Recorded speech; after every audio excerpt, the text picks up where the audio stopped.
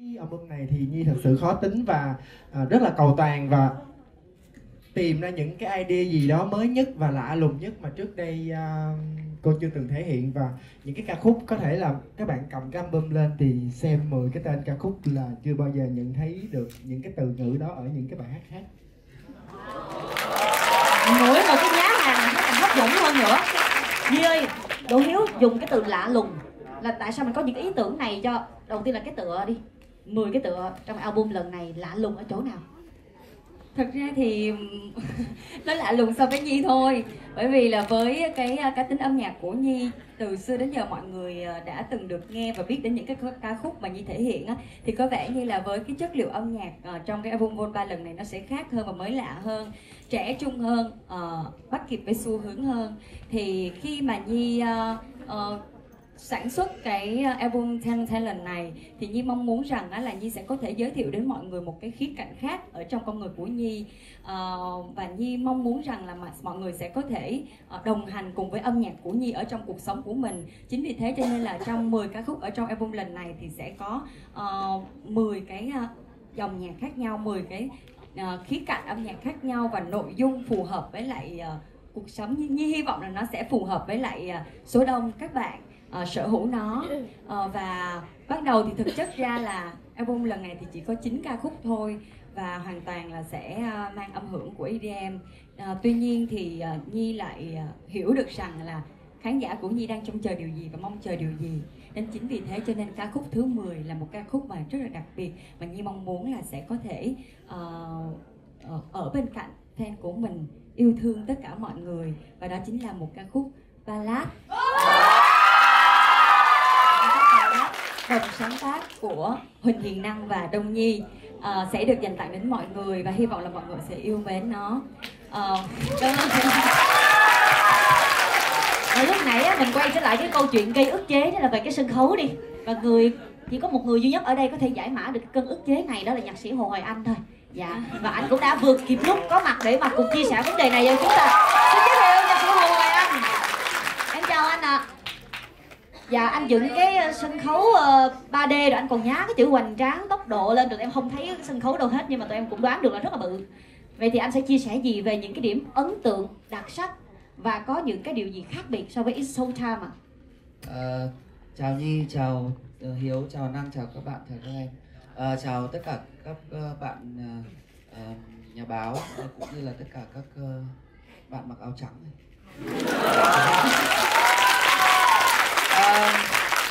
thực ra thì xin lỗi vì ờ, lúc nãy đã đến ngay từ đầu rồi nhưng mà vì có việc nên là phải chạy đi vừa vừa quay lại đây. Tự,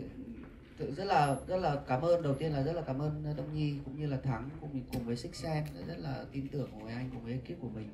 ờ, để mà lại cùng chúng ta lại cùng đứng với nhau trong cái cái live show lần này nữa ờ, sau cái It's, uh, It's Show Time uh, cái cái phải nói rằng là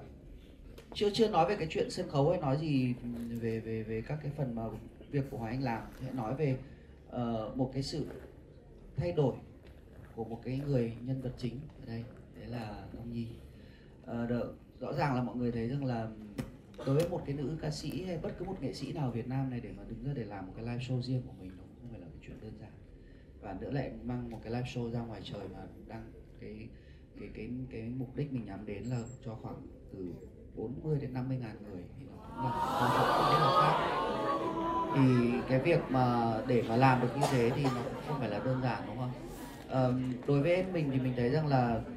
nhìn thấy được dòng trong khi cái, cái lúc mà tập luyện trong cái thời gian vừa rồi cho cái live show năm uh,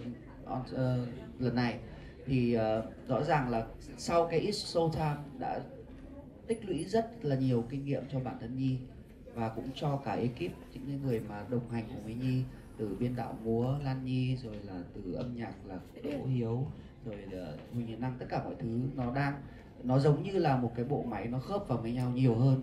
để có thể tạo ra được một cái đêm mà âm nhạc mà ông Cao Thắng vẫn luôn cứ nhắc nhắc nhở đạo diễn ngồi Anh rằng là anh ơi phải làm nào nó thật là đẳng cấp. Uh, thì thực sự là chưa nói về cái chuyện đầu tư về phần phần nhìn nói về phần nghe thì cũng như là cái năm trước mình đã rút kinh nghiệm rất là nhiều đúng không nhỉ tức là mình đã sử dụng cái toàn bộ cái chương trình này sẽ dùng là ban nhạc đánh live hết hoàn toàn. Và cái tinh thần của ban nhạc khi mà đánh live chắc chắn là nó sẽ rất khác rất là nhiều khi mà, mà mình bật nhạc. Ờ, có con yếu tố con người vào cái cảm xúc vào và tất cả mọi thứ nó chắc chắn nó sẽ hay hơn. À, cũng như là có cái ekip đội ngũ kỹ thuật ờ, mà cũng phải nhìn nhận rằng là mấy năm trở lại đây thì Việt Nam mình cũng đã dần dần gọi là cập nhật để có thể được ngang bước được với các cái bạn ở trong cái khu vực. Chứ chưa nói đến đến đến đến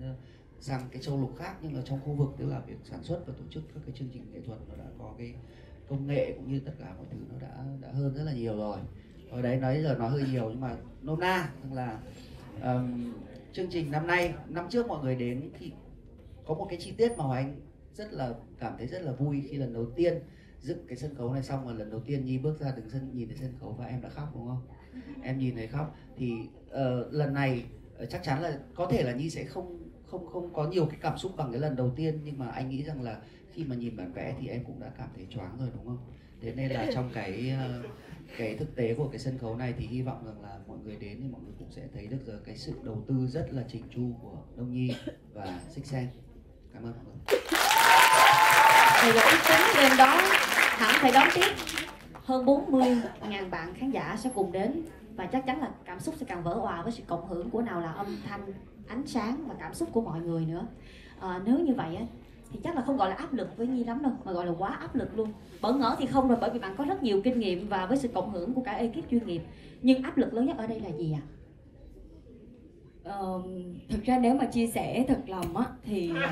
Nhi đã ờ, quá quen với lại cái việc áp lực rồi bởi vì là phải có áp lực thì mình mới có thể trưởng thành được uh, nên chính vì thế là Nhi uh, đang rất là trông chờ đến cái phần trình diễn của mình ở trong đêm 22 tháng 12 và vì sao uh, Nhi bản thân Nhi đang cảm thấy rất là vô cùng tự tin? Bởi vì là xung quanh mình có một ekip cực kỳ là giỏi và chuyên nghiệp luôn luôn ở bên cạnh mình để mà hỗ trợ cho mình.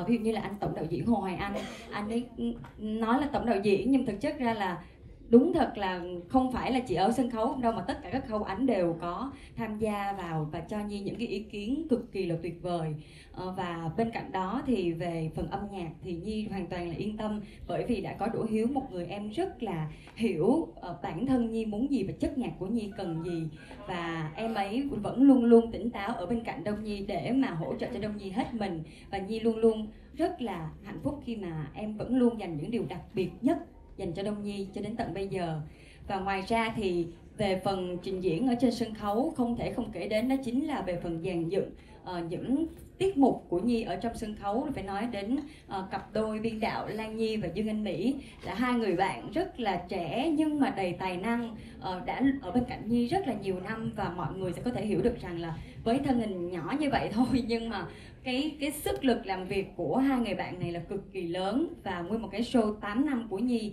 It's So Time là cả hai bạn đã cân cả một chương trình làm dành dựng cho Nhi tất cả mọi thứ. Và với 10 năm này cũng như vậy Nhi vẫn mong muốn rằng là uh, những ekip những người bạn đồng hành của Nhi ở bên cạnh Nhi vẫn có thể uh, làm được những cái điều mà 8 năm của mình chưa làm được. Chính vì thế là ở trong cái live show 10 on 10 lần này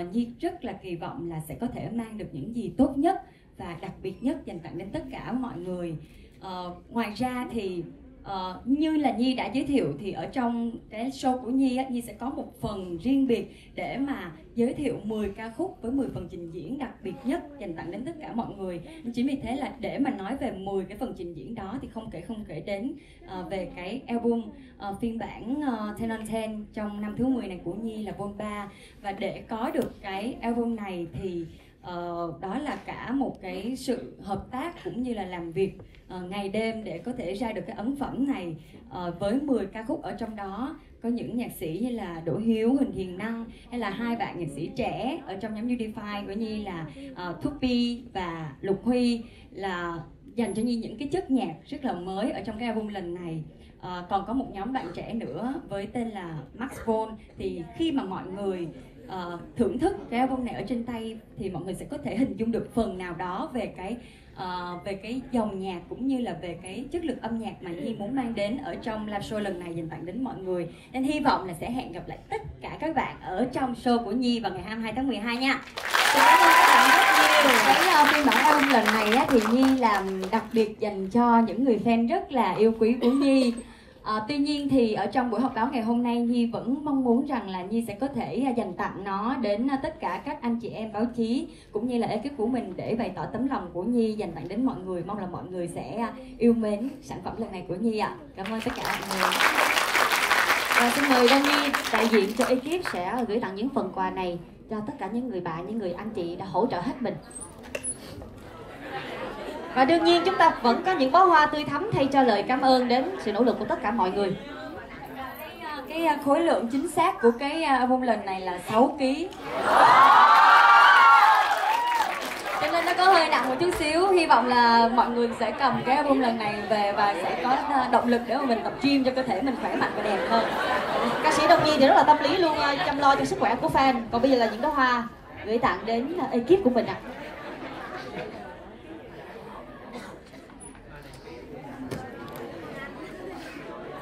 trong này có quà rất đặc biệt dành cho Đỗ Hiếu à. Đó là món quà sức khỏe đó, bởi vì 6 kg cộng thêm